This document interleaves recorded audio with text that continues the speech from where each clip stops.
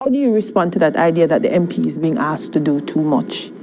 It is not that the MP is being asked to do too much. Literally, over time, what is the job description of a member of parliament has sort of drifted away because of what people in your constituency expect you to do. And we have continued to perpetuate that erroneous expectation of ourselves by literally encouraging the people to believe that that is our role. Some members of parliament are predominantly policymakers. However, people do not necessarily feel that wins votes. So you hear members of parliament asking for more constituency development fund so that they can spend that constituency development fund because the residents relate to you being the one who has those resources and are you're issuing through distribution those resources, it is actually very wrong.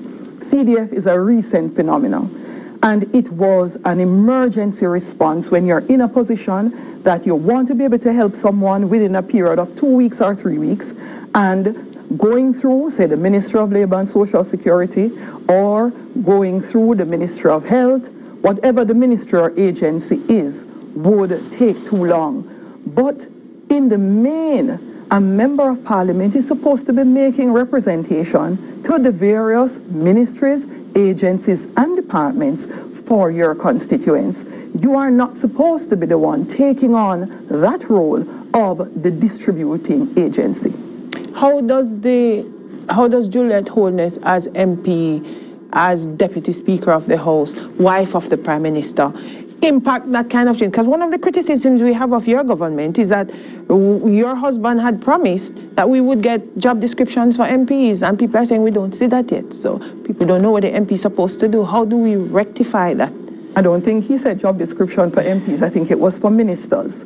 However, for MPs and councillors, it is actually um, clearly indicated what councillors' responsibilities are, exactly what agencies they are supposed to um, make representation to. So like a lot of persons called me about garbage, they really should go to the councillor because that is administered under local government. For one example, street light, many persons come to the MP, they genuinely don't know street lights are administered under the local government authority through the parish council.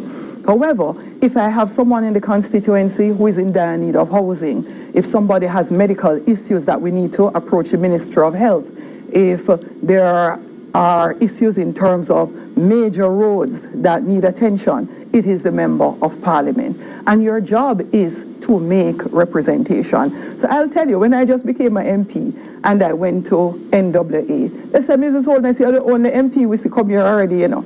I would have gone to agencies where they say it's either me or me and another MP that turned up. So I've been to JSIF, I've had several meetings with NWA, gone to JPS even though I'm not supposed to, because guess what, I am not getting where I would like to go for the people. Gone to NWA. So you need to sit with your agencies. Housing agency, uh, you sit and you are able through proper representation to get the help you need for your constituents.